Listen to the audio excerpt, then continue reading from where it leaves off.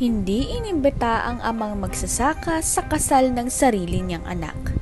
Pero napahiya sila noong dumating siya rito na mayroong dalang sorpresa.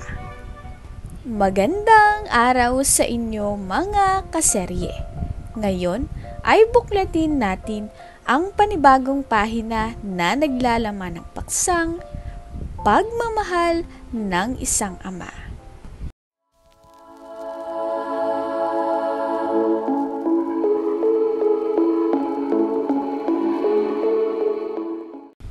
Hindi maitatanggi ni Wilson na hindi maging madali sa kanya ang magising isang araw na siya na lamang mag-isa ang bumubuhay sa anak niyang si Katie.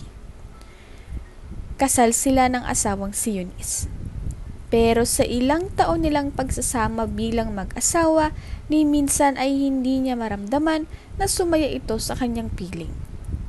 Maraming beses na silang nag-away na umabot na sa pagkakataong gusto na niyang sumuko ngunit hindi niya magawa dahil may isa silang anak. At iyon ay si Katie. Kung ilang beses na rin niyang nahuli na may lalaki ito ay hindi na niya alam. Basta't sa lahat ng pagkakataong iyon ay pinili niyang magbulag-bulagan at magbingi-bingihan para lamang hindi masira ang pamilyang pilit niyang binubuo. Subalit hindi na nakatiis pa ang asawa niyang si Eunice sa kanilang sitwasyon at nagising na nga lang sila na sila na lamang dalawa ni Katie. Wala na rin lahat ng gamit ni Eunice sa buong bahay kaya hula ni Wilson na sumama na ito sa kanyang lalaki. Anak, pasensya ka na kung di ko nabigay sa iyo ang buo at masayang pamilya ha. Paniwala ka sa akin, anak. Pinilit ko Pinilit kong ayusin lahat pero wala talaga. Iniwan na tayo ng mama mo. Patawarin mo ko. Iyak ni Wilson sa anak niyang si Katie.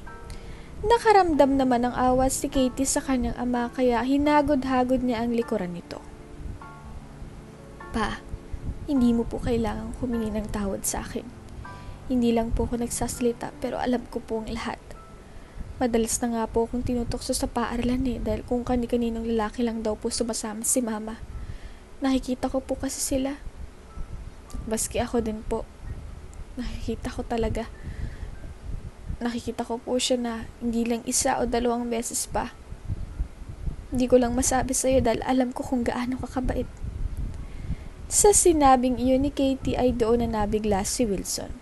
Doon niya na rin napagtanto na kaya pala malayo ang loob ni Katie sa ina ay dahil alam na pala nito ang ginagawa ni Eunice na panloloko sa kanya. Kailan mo lang nalaman, anak?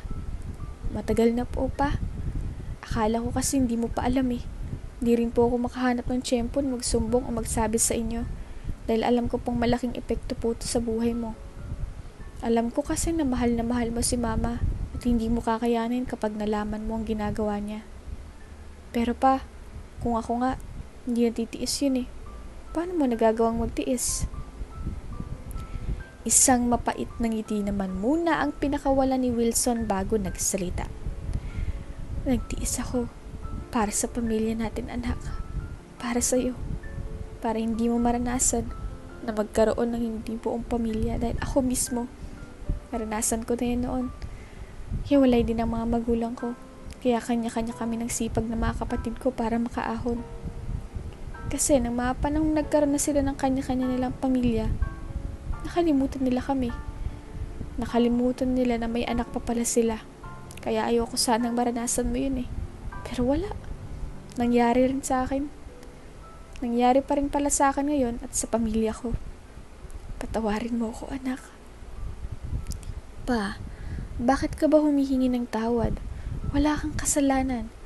Kung sino man ang dapat humingi ng tawad ngayon, si mama yun. Dahil mas pinili niyang lokohin ka at iwanan tayo. Hindi mo kasalanan na hindi na kontento si mama. Anak, naiintindihan ko rin naman kung bakit nagkakagano ng mama mo. Sino ba naman ako, di ba? Niyang i-date nga siya sa labas, hindi ko magawa eh. Gawa ng sobrang liit lang ng sinasahod ko. May mga gusto siya na hindi ko mabigay. Hindi ko kayang bilhin. Napagod na siguro sa kakahintay. Dahil hindi naman kasi itong buhay na pinangako ko sa kanya noon bago kami kasal. Pa, inuulit ko po, hindi mo kasalanan kaya wag mong sisihin ang sarili mo. Mabait kang tao, tsaka nandito pa naman po ako eh. Kung si mama iniwan ka, ako hindi hindi kita iiwan. Ngiti ni Katie sa ama. Kahit papaano'y gumaan naman ang pakiramdam ni Wilson sa narinig. Pero kahit na ganoon pa man ay hindi niya pa rin maitago ang lungkot sa mga mata ng kanyang anak. Hindi niya pala alam na marami nang nanunukso dito dahil lang sa pinagagagawa ni Eunice at bilib siya kay Katie dahil sa murang edad ay nagawa nitong makaya ang lahat. Nagpatuloy pa rin sila sa buhay lalo na si Wilson. Minsan ay nakakaramdaman siya ng pangmamaliit sa kanyang sarili dahil isa lamang siyang hamak na magsasaka. Pero mas pinagtutuunan na lamang niya ng pansin ang mga positibong bagay. Ngunit isang araw habang nasa palengke siya at masayang bumibili ng uulamin nila ni Katie mamaya sa hapunan ay nahagip ng kanyang mata ang asawang si Eunice na naroon din sa di kalayuan. Um, ate, babalikan ko na lang to ah. Saglit lang ako, huwag mo itong bibenta sa iba. Bili niya pa sa tindera ng karne at di na nagdalawang isip na lapitan si Eunice na nooy nabigla din sa pagsulpot niya. Eunice, ngunit imbis na sumagot ay umiwas lang ito sa kanya at nagmadaling umalis na para bang may nakakahawang sakit si Wilson. Eunice, sabay hawak sa kamay nito. Ano ba Wilson? Bitawan mo nga ako. Pasensya na. Bakit ka ba umalis? Hindi mo na ba talaga ako mahal? Paano si Katie? Di mo man lang ba naisip ang anak natin? Mahal kita, Wilson. Pero hindi ako mabubuhay ng pagmamahal ko sa'yo. Tsaka si Katie, malaki na siya. May isip na yon. Alam ko naman din kasi nagagawin mong lahat para sa anak natin. Hayaan mo, kapag nagkapera ako, magbibigay din ako sa pag-aaral niya. Pera? Pera na galing sa lalaki mo? Naririnig mo bang sinasabi mo, Eunice? Hindi pera ang kailangan ng anak mo. Buong pamilya. Eh ako, pera ang kailangan ko, Wilson. Mahal kita pero hindi na ako masaya sa'yo. At hindi ako mananatili sa'yo dahil lang mahal kita. Hindi naman nakaimik si Wilson sa sinabing iyon ni Eunice. Han, sino to ha? Dinugulo ka ba ng lalaking to? Maya-maya wika ng isang lalaking may matipunong pangangatawan. Duda niya ay magkasing edad lamang sila pero mas bata itong tingnan kay Wilson. Wala han, hindi ko naman to kilala eh. Sige na, umalis na tayo at sa iba pa na lang tayong bumili ha. Wala kasi akong nakitang preskong isda dito eh. Iyon lang at tahimik na lamang na pinagmasdan ni Wilson ang papalayo niyang asawa kasamang lalaking pinili nitong makasama. Tumulo ang luha ni Wilson sa muling pagkakataon. Para siyang paulit-ulit na sinasaksak sa puso dahil sa mga sinabi nito. Tunay ngang hindi na ito masaya sa kanya at wala itong ibang nasa isip kundi pera. Hindi na lamang din niya iyon pinaalam sa anak na si Katie dahil ayaw niyang dagdagan pa ang sama ng loob ni Katie sa kanyang ina. Kinaya ni Wilson na buhay na wala ang kanyang asawa. Ilang buwan na rin ang lumipas magmula nang huli niyang makita si Eunice at hindi naman to tinupad ang sinabi nitong tutulong para sa pag-aaral ni Katie. Ngunit naisip niya na rin kung sakaling magtutulong ito ay hindi niya rin tatanggapin. Ayaw niyang gastahin ng perang alam niyang galing sa bulsa ng lalaking mas pinili nito kaysa sa kanilang pamilya. Nang malaman naman ng mga kapatid ni Wilson ang nangyari nang minsang manghiram siya ng pera sa mga ito, ay doon na siya na sermonan. Yan kasi, masyado kang mabait. Gusto mo yatang maging santo Wilson eh. Oh, ano nangyari ngayon? Pinagpalit ka ng magaling mong asawa sa lalaking mapera. Sermon ng kapatid niyang si Lilith na siyang panganay nilang apat na magkakapatid. Ate, di ko naman ginusto yun eh. Ay, anong di mo ginusto? Ginusto mo pa rin dahil alam mo na dati pa na may kalandian ng Eunice, di mo pa kinonfront at kinausap para sa inyong dalawa. Ikaw pa itong natatakot. Eh, ikaw naman ang walang kasalanan. At ngayon, ang lakas ng loob magbuhay dalaga, nakala mo naman talaga walang iniwang anak at asawa. Kung nasa Pinas pa ako ngayon, masasabunutan ko talaga yun. Ate, huwag mo nang dagdagan pang sakit na nararamdaman ko. Tiyak sasabihin mo naman to kay Grace at Lyndon Tatawag na naman ng mga yun sa akin para sermonan ako. Natural, Mabuti nga at nasisermonan ka pa naman eh. Sino bang gusto mong gumawa ng paninermon? Ang ibang tao na wala namang ambag sa buhay mo. Wilson, ate mo ko ah. Mahal kita at nagmamalasakit lang ako sa'yo pati na kay Katie. Buti nga malaki na yung anak mo eh. Kaya hindi mo na masyadong napapaliwanagan dahil siya na mismong nakakaalam ng kung anong tama sa sarili. Kaya nga ate, pero naaawa talaga ako kay Katie dahil apektado na rin siya sa mga nangyayari. Ano nang plano mo ngayon? Alam mo naman na hindi masyadong kalakihan ng perang pumapasok bilang isang magsasaka. Ilang taon na lang. Magkokolehiyo na si Katie. Kaya mo bang gastos? Iyan ang hindi ko pa masasagot ate. Pero kakayanin ko po. Huwag kang mag-alala. Tutulong din kami kapag medyo maluwag. Pero, kuya, ano kaya kung pumunta ka dito? Sabihin mo lang at mag-aambagan kami ni Grace at Lyndon para makakuha ka ng passport at makapunta ka dito sa ibang bansa. Suhestyon nito sa kapatid. Ang tatlo niya kasing kapatid ay nasa ibang bansa at doon na namuhay. Nagtrabaho at nagkapamilya. Tanging ang bunso na lamang nilang kapatid na si Grace ang hindi pa nag-aasawa. Pero mukhang wala na ring balak pang umuwi ng Pilipinas. Naisip ko kasi kapag nandito ka, may matutuluyan ka. Kahit saan mo gustong tumira, welcome na welcome ka, nandito kami. Tsaka tutulungan ka din namin na maghanap ng trabaho para mataguyod mong pag-aaral ni Katie. Hindi biro ang magpaaral ng kolehiyo, kuya ha. Doble-doble ang gastos niyan. Alam mo, naisip ko na rin yan ate. Pero kawawa naman si Katie kung siya lang mag-isa dito. Kuya, malaki na ang anak mo. Kung mananatili ka dyan, ano bang oportunidad ang papasok sa'yo? Wala. Dito, pinipili basta marunong ka lang masipag. Tsaka, sa sasahurin mo dito, pwede kang magbayad ng taong tingin-tingin kay Katie para lang masiguro natin na safe siya. Salamat ate ah. Hindi ko lang din kasi alam kung papayag si Katie na lumayo ako eh. Diyos ko naman Wilson, ikaw ang bahala. Ah, sige, mas mainam kung kausapin mo muna si Katie at tawagan mo ako agad ha. Sayang naman kasi. Sige ate, salamat. Iyon naman agad ang ginawa ni Wilson at kinausap na si Katie kinagabihan nang magsabay sila sa hapunan. At tulad na rin ng inaasahan ni Wilson, hindi pumayag si Katie na ibang bansa ito. Kaya nang tawagan niya ulit ang mga kapatid ay doon niya na tinanggihan ang alok ng mga itong trabaho para sa kanya.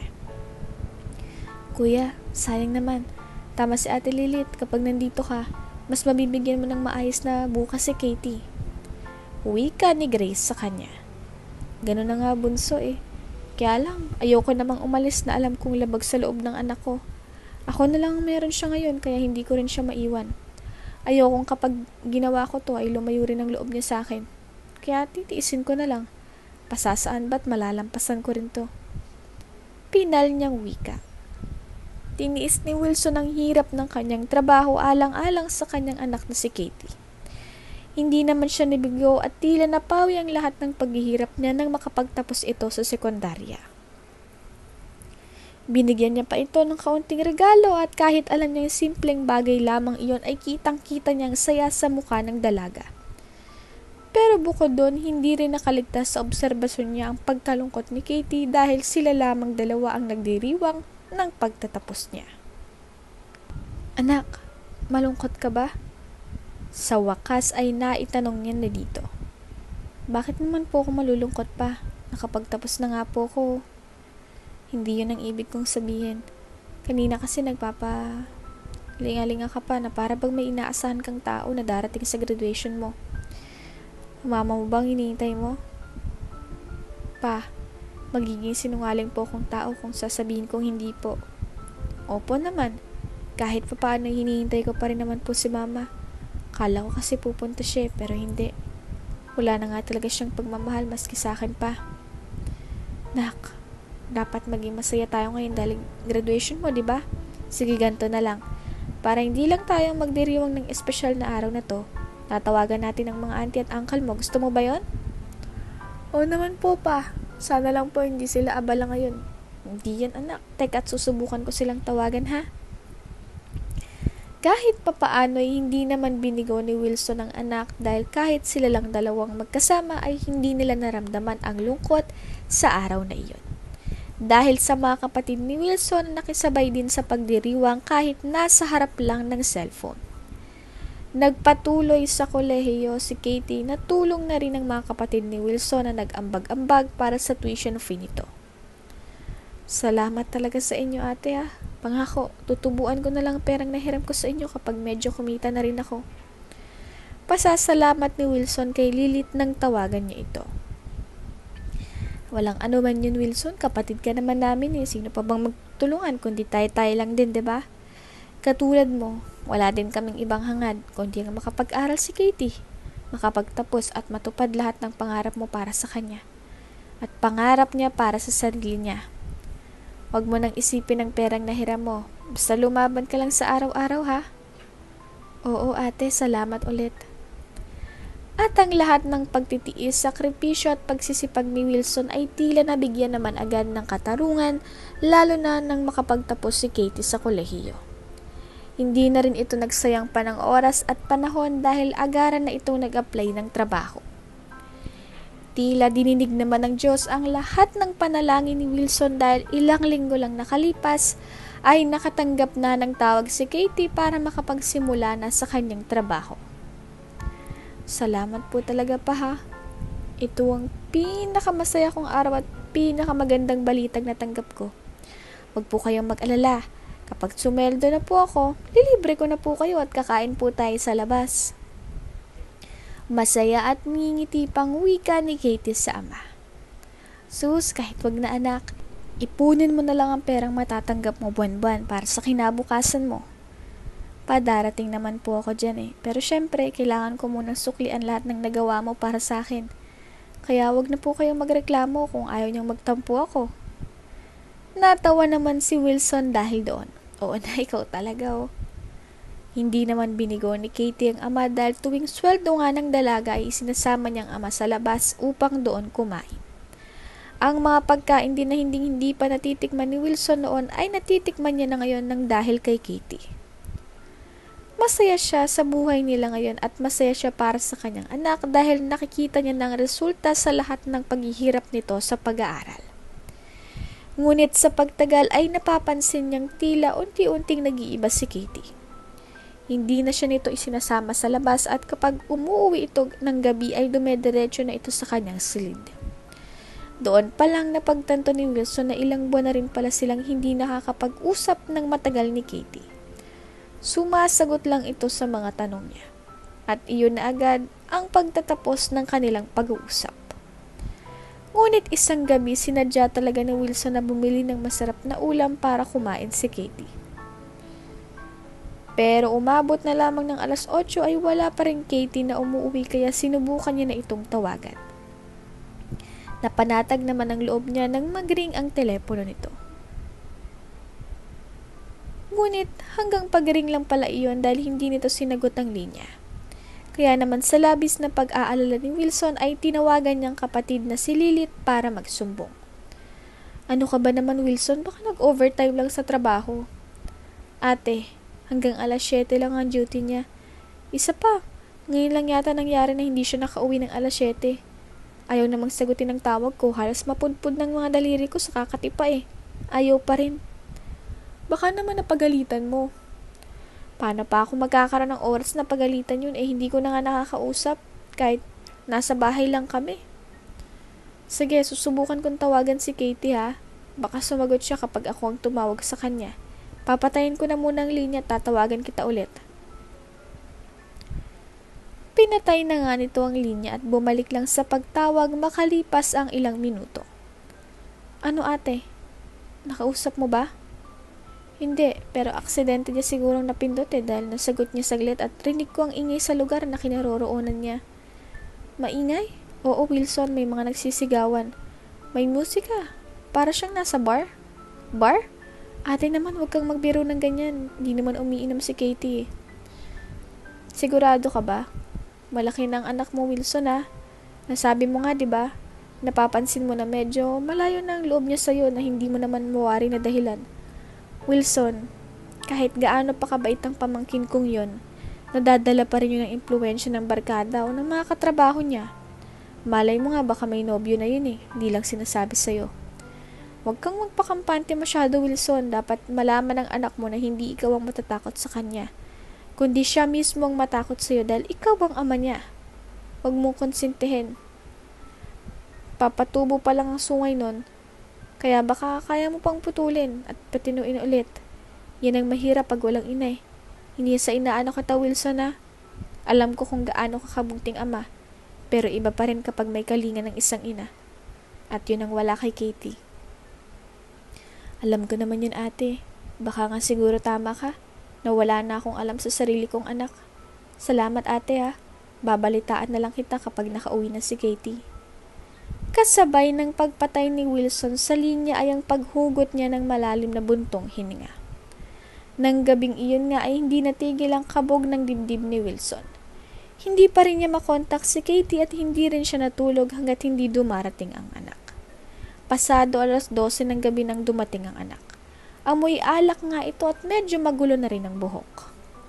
Oh, gising pa po pala kayo pa. Matutulog na po ako ah. Parang wala lang na wika nito. San ka galing, Katie? Inisman pero pinakalma pa rin ni Wilson ang boses.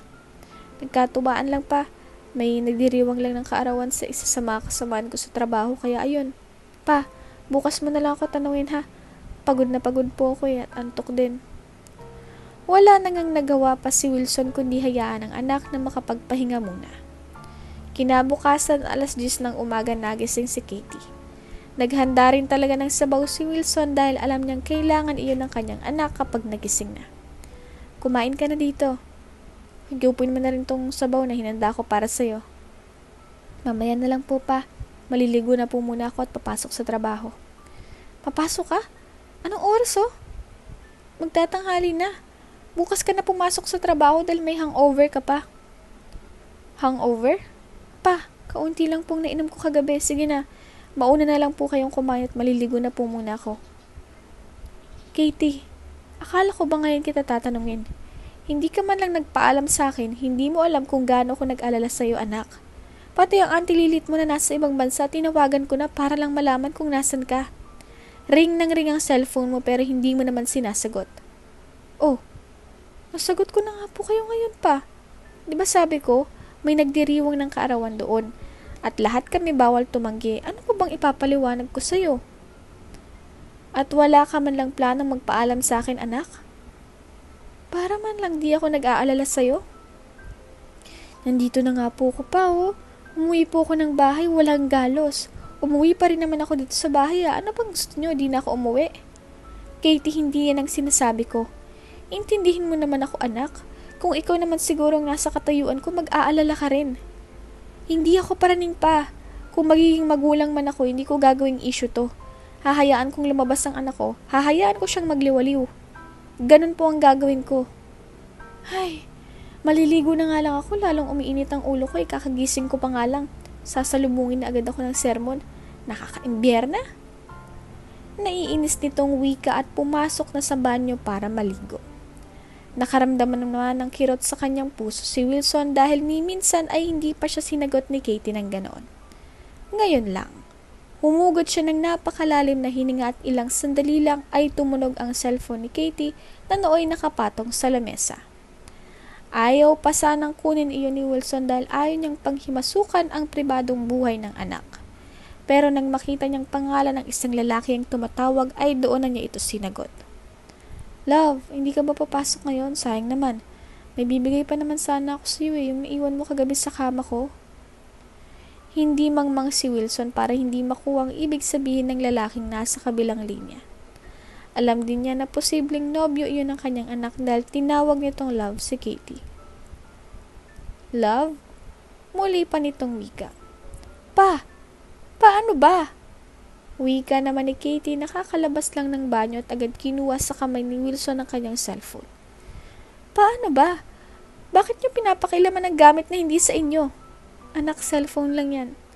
Cellphone nga lang, pati ba naman to? Kailangan mong pakialaman? Nangialam ba ako sa mga gamit mo ha? Sinagot mo pa talagang tawag. Ano namang masama dun? Papa mo naman ako. Isa pa sino yung Charles? Bakit kanya tinatawag na love? At ano ang bagay na ibibigay niya sa'yo na naiwan mo sa kama niya? Magkasama ba kayo kagabi? Nobyo mo ba siya? Sunod-sunod na tanong ni Wilson dito. Pa, huwag mo kang pasukan ng maduming ibig sabihin ng narinig mo. Kaibigan ko po si Charles, oo, nobyo na. Magkasama kami kagabi dahil katrabaho ko po siya. At yung sinabi niyang naiwan kong gamit sa kama niya, biro niya lang po yun. Masaya na po ba kayo na nasagot ko ang tanong niyo? Pati ba naman dyan sa nobyo mo? Nawala na rin akong alam anak? Kailangan ko pa po ba pa? Sige na po, papasok na ako. Sa susunod, wag mo nang papakailaman ng gamit ko. Irap nga nito. Ngunit hindi kumbinsido si Wilson sa sinabi ni Katie kaya naman ang tinawagan niya agad si Lilith para sabihin dito ang lahat. At wala naman kasi siyang ibang nagiging sumbungan kundi ang ate Lilith lang niya. Aba, bastos ang batang yun ah. Sana sinampal mo para madala at matauhan. Nagkaroon lang ng trabaho at kumita ng sariling pera, naging bastos na. Baka nakakalimutan niyang ikaw ang dahilan kung bakit nasa ganyang posisyon siya ngayon. Hayaan mo, Wilson. Tatawagan ko siya at sermonan ko. Hindi mo kasi magawa eh, kaya ako nang gagawa nun para sa'yo. Masyadong malambot ang puso mo pagdating sa anak mong nagiging demonyita na. Ate, may duty pa po ngayon si Katie.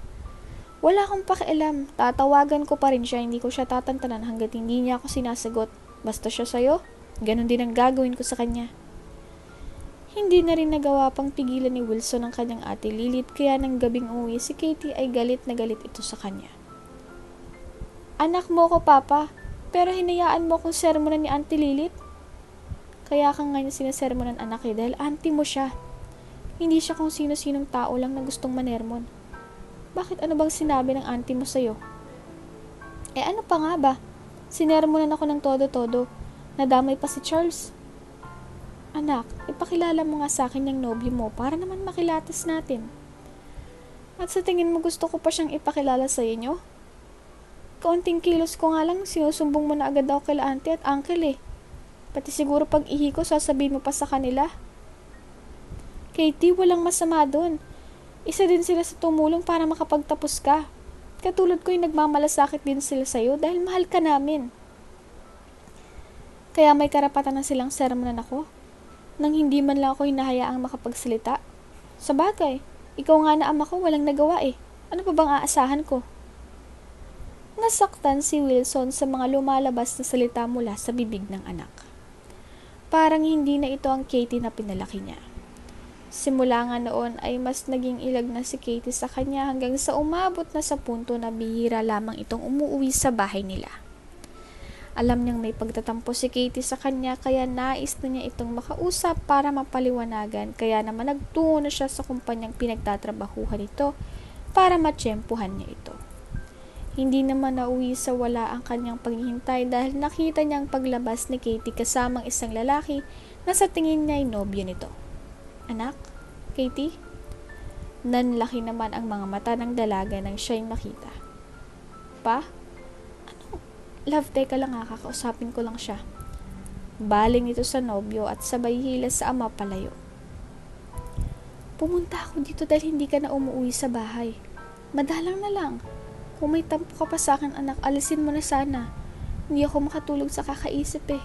Kung paano ka na ba? Makikita mo naman po, oh, maayos ako. Sige na, umalis na po kayo. Uuwi rin naman ako sa bahay. Nagpapalamig lang muna ako. Ilang araw ka bang nagpapalamig anak? Sana kung di ka makakauwi, ipaalam mo naman sana sa akin.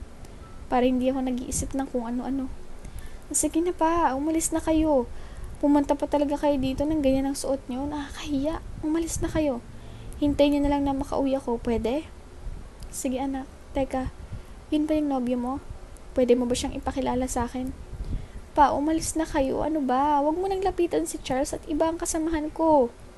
Sige na, huwag ka nang lalapit. Anak, hindi naman ako tututol sa inyo eh. Gusto ko lang siyang makilala. Wala naman sigurong masama dun, di ba? Pa, ano ba? Umalis na po kayo. Huwag na po kayong gumawa ng dagdag rason para mainis po ulit ako sa inyo. Hayaan niyo po muna akong mapag-isa, pwede ba? Sa mga sinabi at sa trinato ni Katie kay Wilson ay doon niya napagtanto na kinakahiya siya ng sarili niyang anak. Hinayaan na lamang niya ito at hindi na nagsumbong pa sa kanyang mga kapatid, lalong-lalo na kay Lilith dahil alam niyang baka mainis lang ito lalo kay Katie. Naghintay na lamang siya sa pag-uwi nito at makalipas naman ng ilang araw ay nakauwi na nga ito. Nakausap niya pa nga ito saglit at akala niya iyon ang simula para maging maayos muli ang kanilang relasyon. Pero hindi pala dahil nang umagang magising siya ay ganoon na lamang ang gulat niya nang malamang wala na ang mga gamit ni Katie sa kwarto nito. Sinubukan niya itong tawagan pero hindi niya na makontak ang numero ng kanyang anak. Pinuntahan niya rin ito sa pinagtatrabahuhan niya pero hindi niya nakita doon si Katie.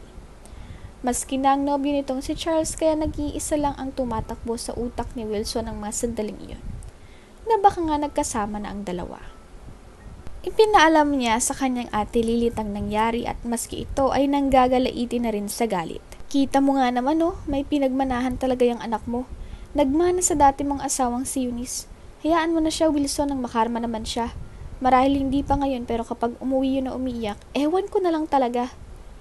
Galit nitong wika sa kabilang linya. Simula nga nooy wala nang naging balita si Wilson sa anak. Walang gabi na hindi siya umiiyak sa tuwing naiisip niya na humantong sa ganito ang relasyon nila ng anak na si Katie.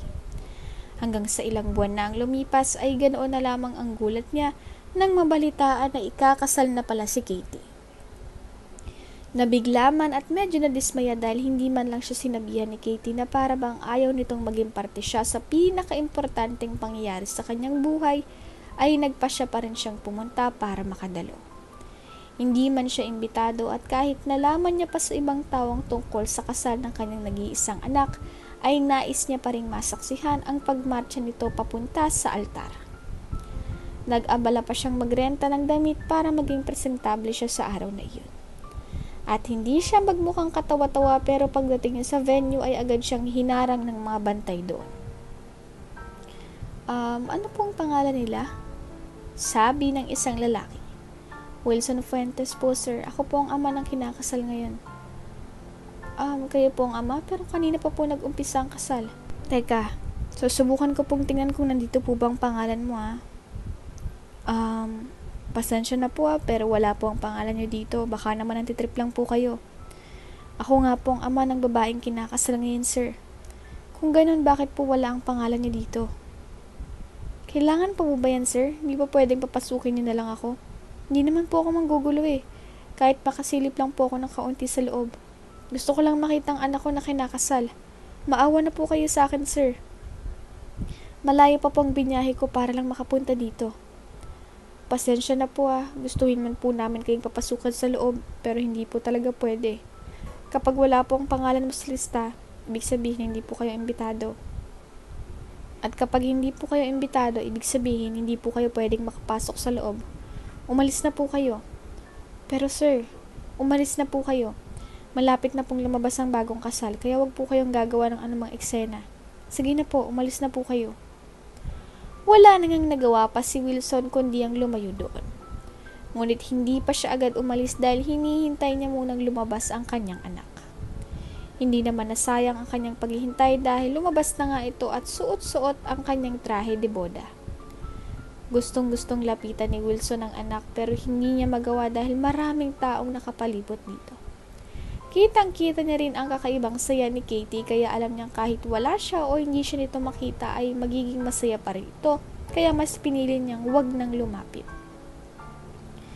Nalulungkot si Wilson dahil hindi man lang niya magawang mayakap ang anak at para bang simula nang mawala sa puder niya si Katie ay nawala na din ng kulay ang kanyang buhay.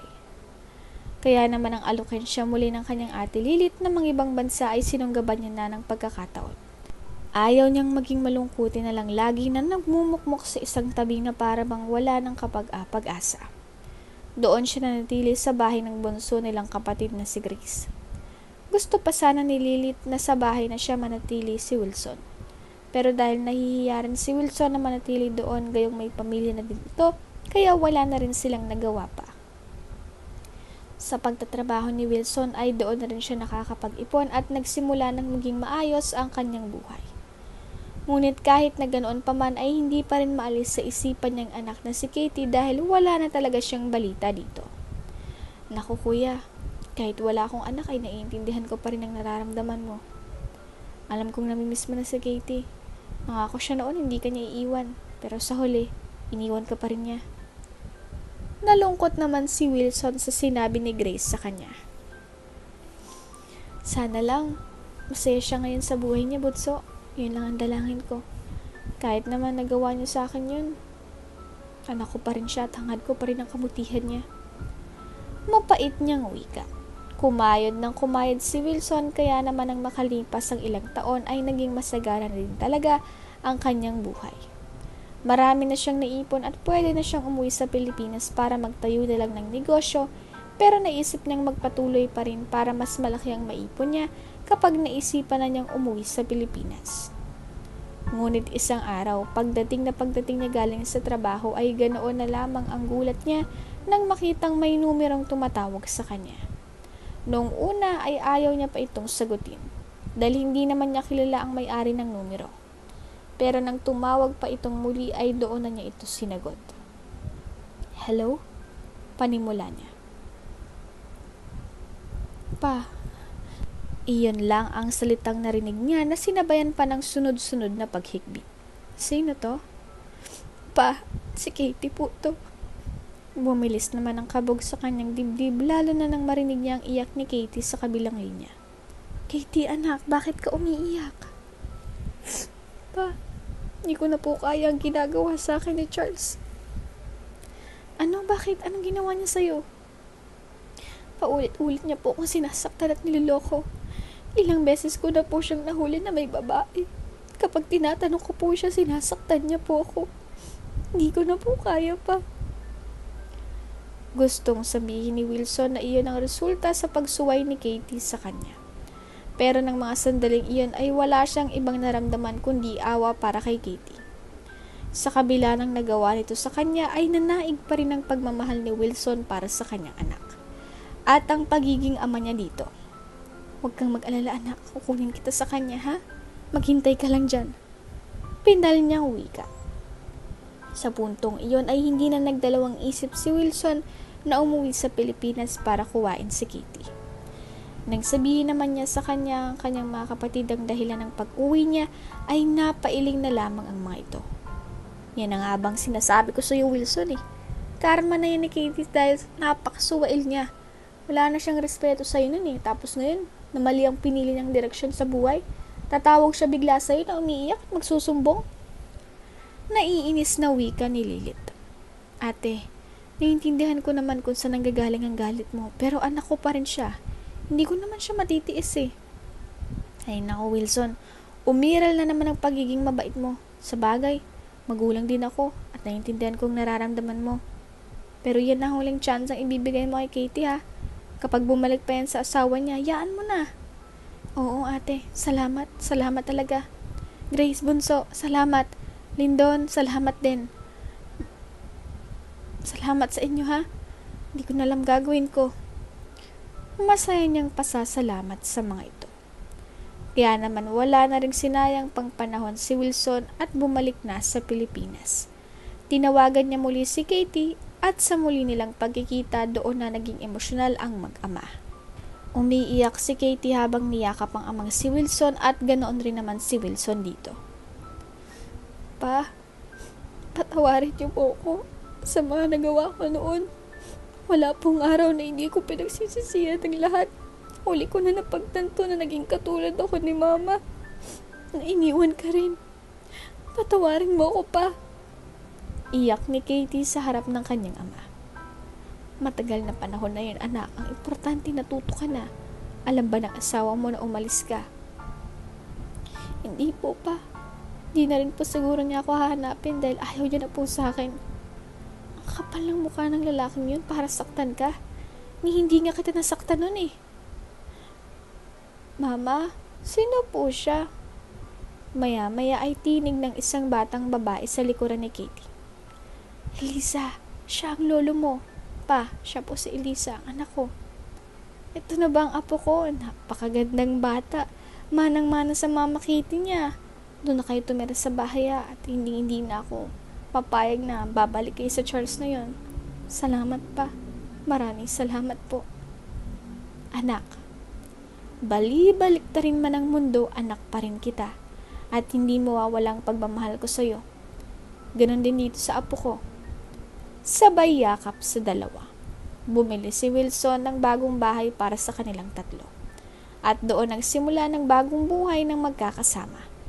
Hindi na rin nagparamdam pa kay Katie si Charles at balita niya ay may bago na naman itong babaeng kinakasama.